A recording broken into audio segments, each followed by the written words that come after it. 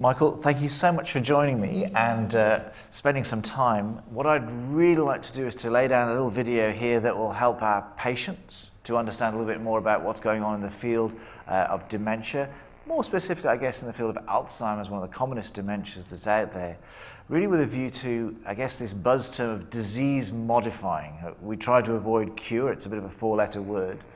And I guess where I wanted to start off with is where do we get the clues to what treatments might be effective. What is it that we're seeing, I don't know, down the microscope? What is it that we're seeing from, I don't know, genetic tests or biomarkers that give us the clues to what we might be targeting with our disease modifying approaches? It's a very interesting question, Simon. In fact, it's probably the fact that we haven't uh, been able to rapidly find a cure that's given us a better understanding of what goes on in the brain. If we had a cure for Alzheimer's 20 or 30 years ago, or a disease modification, as you correctly call it, we may not have done all the research that we've done since. But we now know a lot more about what happens in the brain.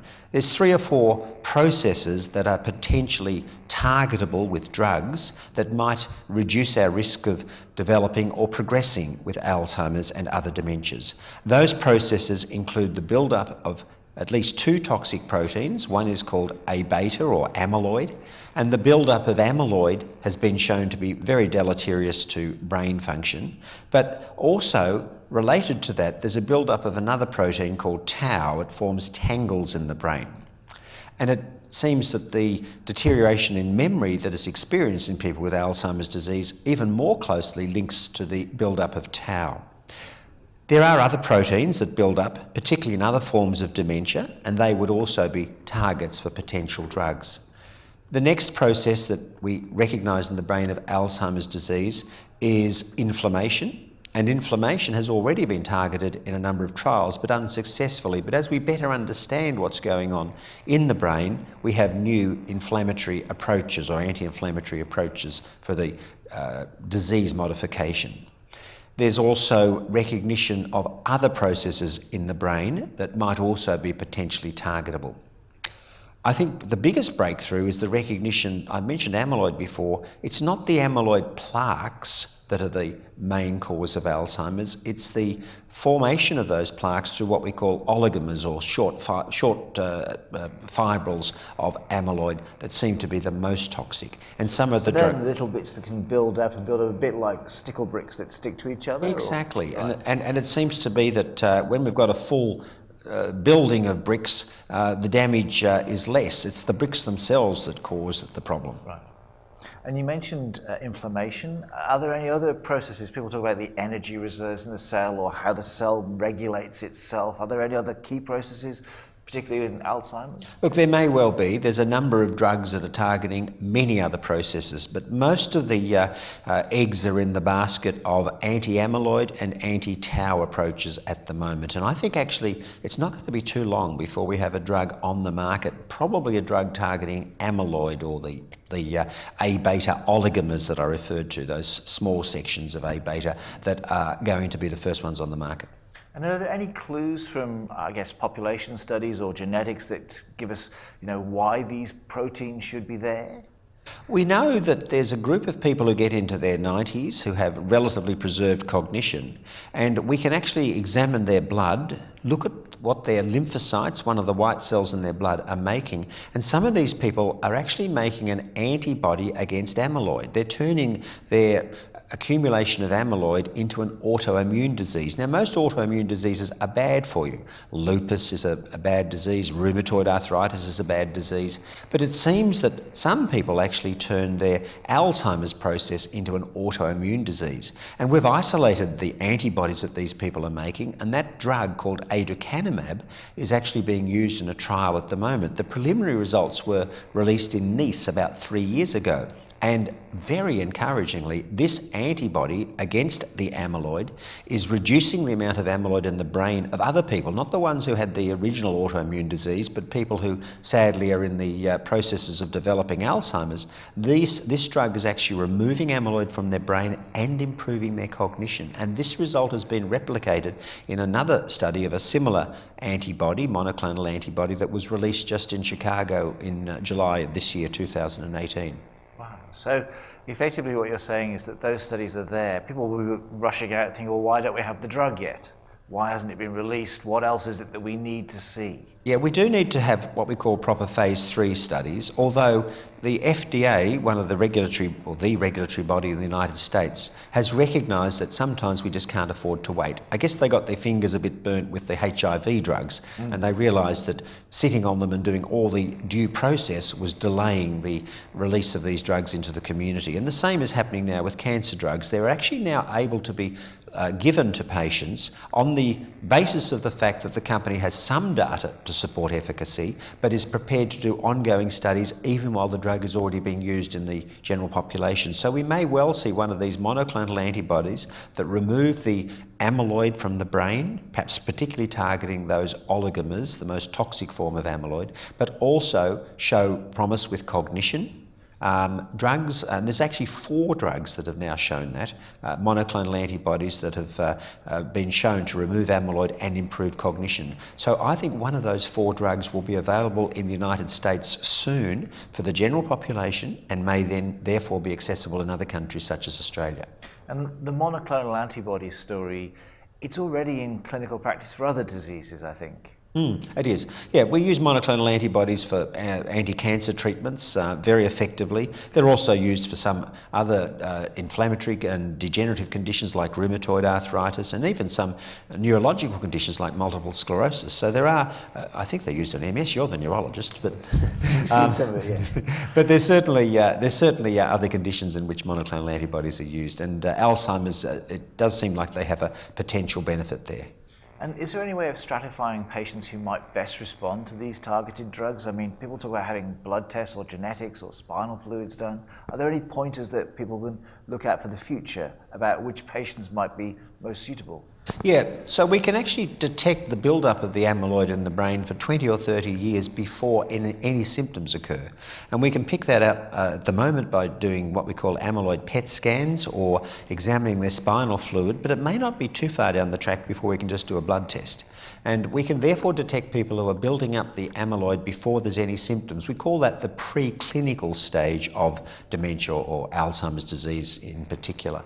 And therefore, those people who are in this preclinical stage would be the logical ones to be uh, treated uh, with these anti amyloid treatments. So, those blood tests aren't available, the amyloid scans aren't widely available, and spinal fluid is obviously quite invasive. Are there any other, uh, uh, people talk about having their genes tested. Um, are there any blood tests that people should do, or should they be waiting for, until we know more about effective treatments? I think we'd wait for the effective treatments. Um, one of the gene tests that can be easily done to show whether you have an increased risk of late onset Alzheimer's disease is looking for what's called apolipoprotein E.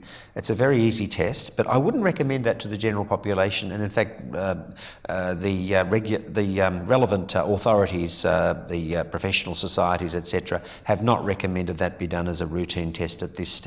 But when we have drugs that might potentially modify the disease process, then ApoE would be one test to have. If you've got E4, you are substantially uh, uh, at substantially greater risk of developing Alzheimer's and at an earlier age, particularly if you have two doses of it, because there's an E4 or there's an ApoE on each of the two chromosomes that if you get have one from mum and one from dad, Correct. that's a double hit. Correct. And is that apo gene related to the pathology that we recognise as Alzheimer's? What Ap- role might it play? Yes, so apolipoprotein E moves lipids or fat around the brain right. and seems to be responsible for the formation of new synapses and getting the, the lipids where they're needed to create new synapses. The brain is basically a fatty computer and uh, it, needs, it needs ways of moving the fat around the brain because even in the 10 or 15 minutes that people have been watching this video, they have formed thousands of new synapses. That's how right. fluid, how rapid the process is going on. But but to form those new synapses, we need uh, fat moved around, and apolipoprotein E is one of the transporters of such fat. Okay. And you mentioned how monoclonal antibodies might target amyloid. Are there any other approaches that are being used or developed to target amyloid protein in Alzheimer's?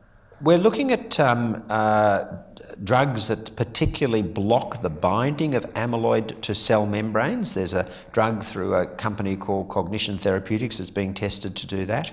We're also looking at um, uh, drugs that might turn off the production of amyloid. These are what are called BACE inhibitors. Right. Now, sadly, the recent BACE, B-A-C-E, standing for beta amyloid cleaving enzyme. Thanks, right, right B-A-C-E.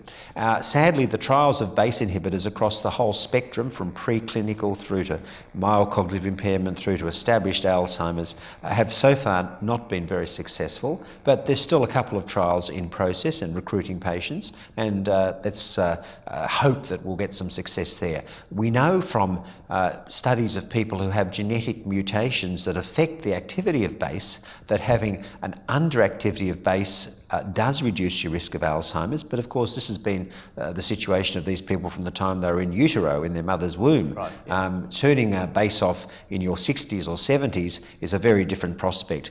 And we also know that there's a mutation that increases the activity of BACE, and these people have an increased risk of Alzheimer's. So BACE seems a logical target, but we need the runs on the board. We need the results from trials before we offer it to the general population. I think the monoclonal antibodies against amyloid are likely to be more advanced and more soon on the market than BACE inhibitors. And what about the other protein at play here, the tau protein? You said that that one seems to be associated a bit more with the cell death and the actual dementing process amyloid protein, perhaps, if you like, laying down the red carpet and then this other process starting. So, are we targeting tau with any of these disease modifying therapies? Yes, in the same way as we have monoclonal antibodies against amyloid, we have a couple of trials of monoclonal antibodies against tau. Um, the problem with tau is it largely spends its life inside the nerve cells, and it's harder to get a monoclonal antibody inside. But uh, we do know that tau propagates, it, it moves between cells, and at some stage it, it possibly pops out of a cell before it pops into the next cell, and that might be when we can target it with the monoclonal antibody.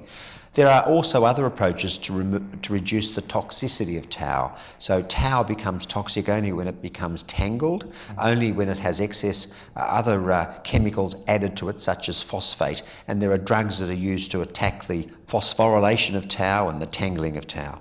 Okay. So a lot of um, patients watching these videos will be asking themselves, how do I get involved in trials? Is there a good central resource that people should go to to be able to find out whether there are trials available that they may be able to be eligible for?